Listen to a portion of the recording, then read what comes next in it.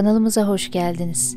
Yeni bir hikaye ile daha beraberiz. Hikayeye geçmeden önce kanalımıza abone olmayı, videoyu beğenmeyi ve yorum yapmayı unutmayın. Sizlerin de yaşadığı bu tarz paranormal olaylar varsa bizlere açıklama kısmında paylaştığım Instagram veya mail adresimiz üzerinden ulaştırabilirsiniz. Şimdi hikayeye geçelim. Keyifli dinlemeler.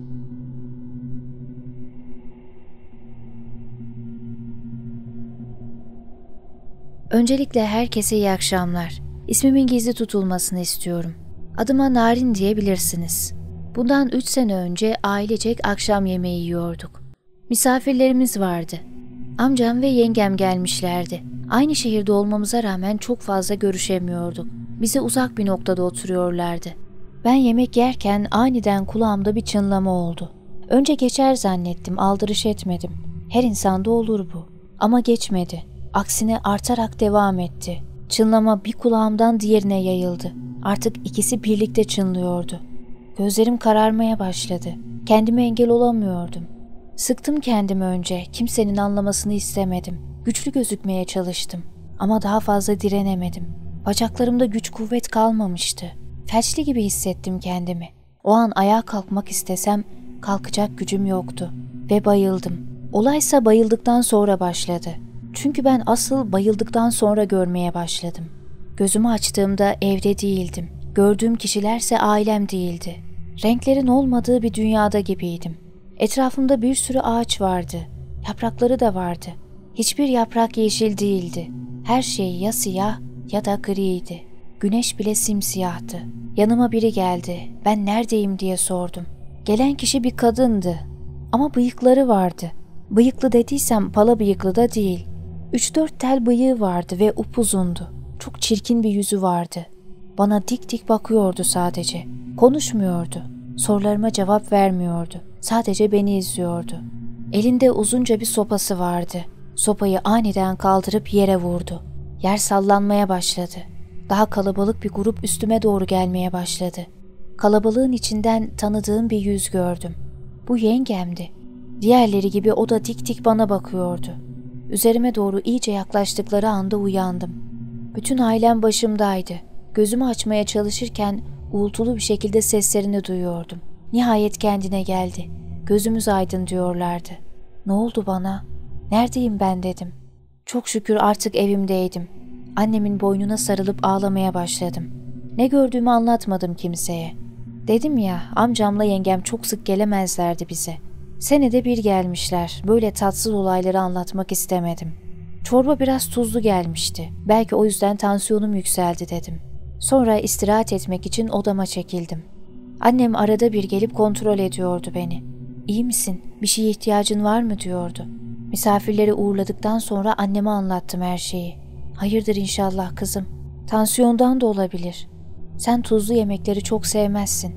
Bu kez biraz elimin ayarı kaçmış dedi. Yok anne, bence ondan değildi. Gördüklerim çok korkunçtu. Ben ilk kez bayılmıyorum ki. Bayıldıktan sonra kendimi başka bir yerde buldum. Gittiğim yerde de yengemi gördüm dedim. Hayır olsun inşallah diye annem dua etmeye başladı. O anda annemin dua etmesinden çok rahatsız oldum. Başım ağrımaya başladı ve enseme kadar indi ağrı. Anne devam etme, yine fena olmaya başladım dedim. Ferahlarsın kızım biraz daha okuyayım dedi. Ben dayanmaya çalıştım ama annem okudukça daha kötü oluyordum. Hiç beklemediğim bir anda kustum. Yatağım yorganım batmıştı. Annem yenileriyle değiştirdi. Sonra yatağıma uzandım. Annem biraz daha yanımda kaldı. İyi olduğumu görünce de çıktı. Annem gittikten sonra kalbimde de bir çarpıntı başladı. Gözümü kapattığımda sesler duyuyordum. Açtığımda kesiliyordu. Tekrar tekrar denedim bunu. Her kapattığımda fısıltılar duydum. Ne konuşulduğunu asla anlamıyordum. Odamda içinde çiçek resmi olan bir çerçeve vardı. Duvarda asılıydı. Onun çatlama sesini duydum. Camları çıtırdayarak kırılıyordu. Sonunda o camlar büyük bir gürültüyle yere düştü. İlk annem koşup geldi. Ben yatağımda yatıyordum.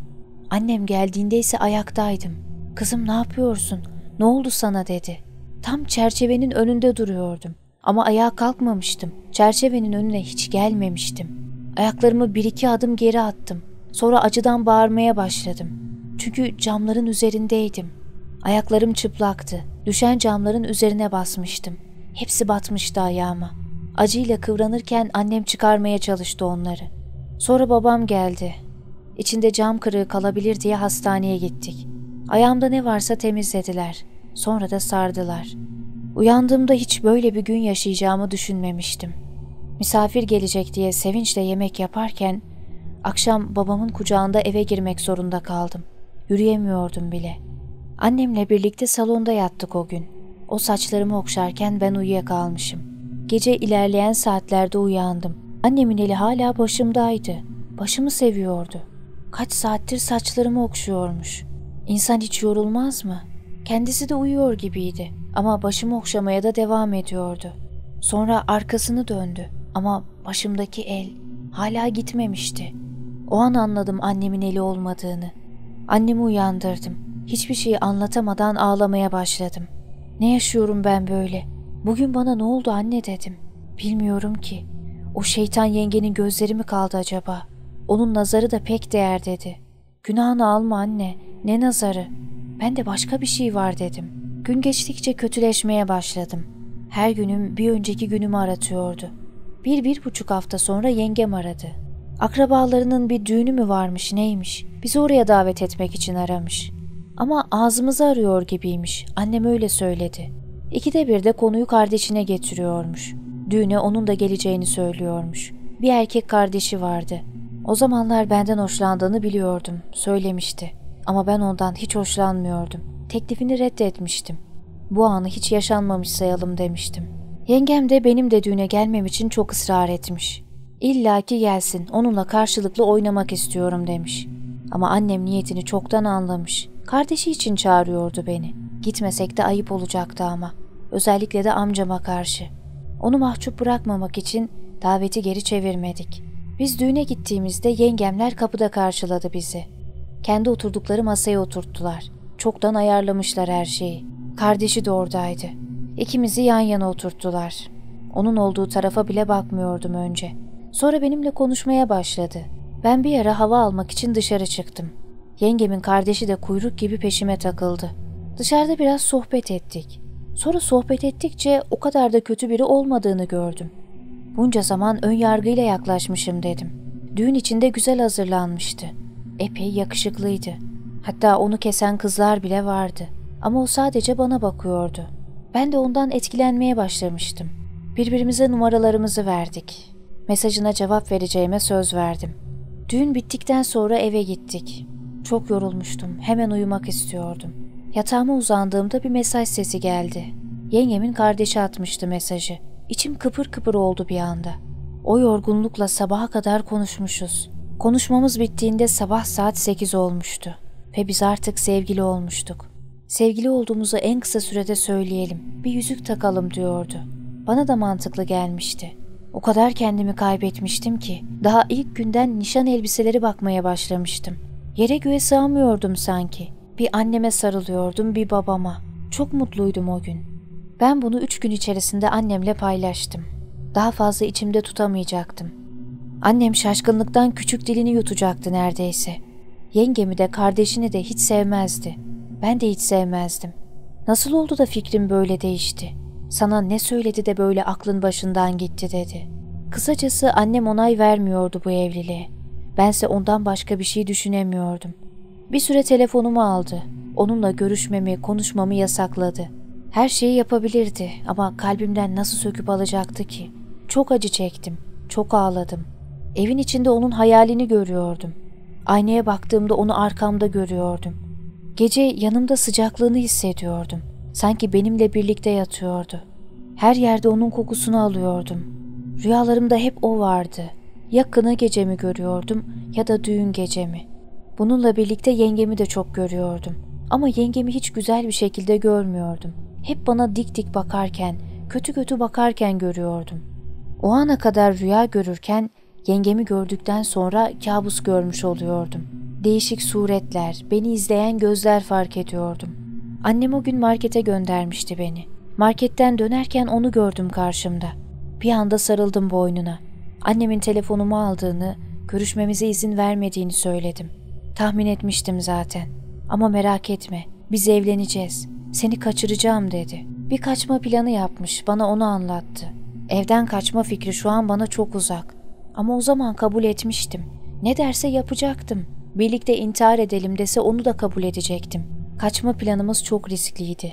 Yakalanma ihtimalimiz çok yüksekti. Oraları fazla detaylı anlatmak istemiyorum. Çok da gerekli değil. Sonucunda yakalandık ama bunu söyleyeyim. Babam da annem de yakaladı kaçarken. İşler daha da kötüye gitti. Bu kez hapis gibi odama kilitlendim. Artık dışarı da çıkamıyordum. Bu yüzden yengemin ailesiyle bizim ailemiz birbirine girmişti. Amcamla bile araları bozulmuştu. Bir sabah annem odama girdi. Hazırlan, gidiyoruz dedi. Nereye gidiyoruz dedim. Nereye gittiğimizi söylemedi. Çabuk ol sen, baban aşağıda bekliyor. Randevumuz var dedi. Hastane randevusu sandım önce. Babama mı bir şey oldu? Sana mı bir şey oldu dedim. Bu evde senden başka sorunlu var mı dedi. Annem bana çok öfkeliydi. Haklıydı da. Neyse bunlar hoca ayarlamışlar. Beni hocaya götüreceklermiş meğer. Hocanın karşısına oturdum. İki parmağıyla burnumu sıktırmaya başladı. Önüme de bir kağıt koydu. Kağıda doğru eğil dedi. Eğildikten sonra burnumdan iki üç damla kan aktı. O kağıttaki kana bakarak bakım yaptı bana. Yengemin bana büyü yaptırdığını söyledi. Kardeşine bağlanmam için yaptırmış. O gün bize gelme sebepleri oymuş. Duvarımdaki çiçekli tabloyu da yengem hediye etmişti bana. İlk evlendikleri zamandı. Ondan beri duvarımda asılıydı. Büyü yapıldığı gün o da o yüzden kırılmış. Bize ikramlık getirdiği şeyler büyülüymüş. İkram ettiği her şeyden yemiştim. Hatta benimkileri ayrı bir kaba koymuştu. Bundan bile şüphe etmemiştim. Neden benimkini ayrı bir kaba koydun dememiştim. Bir arada tuvalete gider gibi yapıp benim odama girmiş gizlice ve odama büyü saklamış. Hoca bu büyünün yerini söyledi. Bulduğunuzda şu duaları okuyun, sonra da bir akarsuya atın dedi. Eve gittiğimizde hemen kontrol ettik. Tam da söylediği yerden büyü çıkmıştı. Onu akarsuya attıktan sonra düşüncelerim değişmeye başladı. Tekrardan nefret ettim kardeşinden. Hele bana bütün bu acıları yaşattıktan sonra daha da nefret ettim. Artık ne yengemle ne de ailesiyle görüşüyoruz. Kapandı bizim için o defter. Rabbim cümlemizi böyle insanlardan muhafaza etsin. Şimdiden ağzınıza sağlık Pınar Hanım.